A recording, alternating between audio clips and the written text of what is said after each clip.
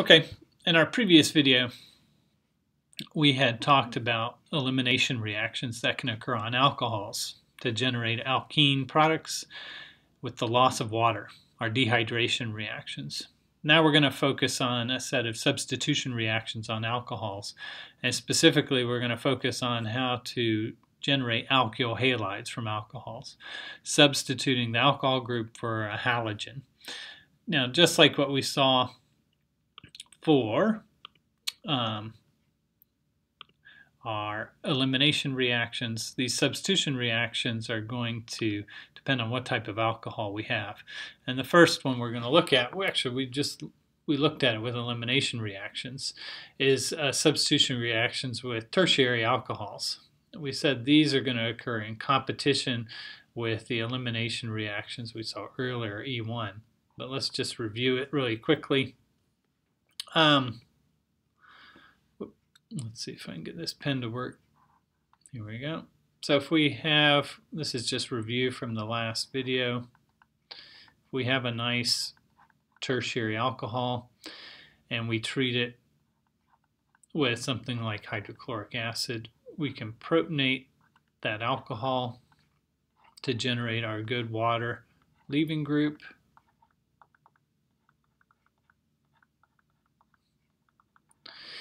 Which can leave.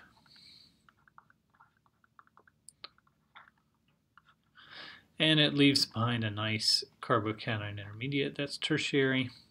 And instead of this chloride acting as a base to remove one of the beta carbon hydrogens, which happened in our elimination reaction, we can just easily have this chloride come in in a substitution reaction, quench that carbocation, to form our tertiary alkyl halide. Pretty straightforward, just uh, you know a different fate of this chloride atom than what we saw with our dehydration reaction, and they both can occur at the same time. Now, when we have primary and secondary alcohols, let me put that in there. This actually happens with primary and secondary alcohols, right? Um, we have to do a different strategy. Again, we don't have a we won't have a nice primary secondary carbocation. That'll happen very quickly. And so we have to use other reagents in order to substitute that alcohol group rip that thing off of there. And so let's um, let's take a look at a mechanism and set of reagents that can substitute for a primary secondary alcohol. Okay so here's a nice primary alcohol. One reagent we're going to use um, for this is the use of SOCl2, thionyl chloride. Um, that will substitute a chlorine for an alcohol group. Very similar reaction occurs if we use PBr3 if we wanted a bromide instead of alcohol. Uh, I'm going to focus on SOCl2 so you can get the mechanism and understand the strategy behind this. So SOCl2 is a reagent sort of similar to our POCl3 we saw with our dehydration reactions, and that we have this central atom that has three very electronegative atoms around it. And this looks kind of like a carbonyl, and so we need to identify this as having a a partial positive charge, pretty healthy partial positive charge. Since our alcohol has a lone pair, it can be nucleophilic, and our alcohol will attack this very reactive sulfur.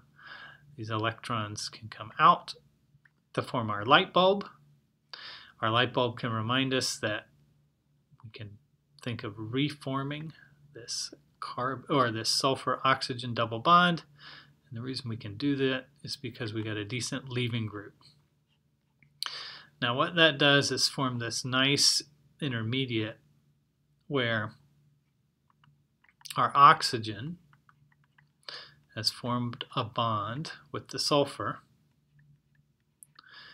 and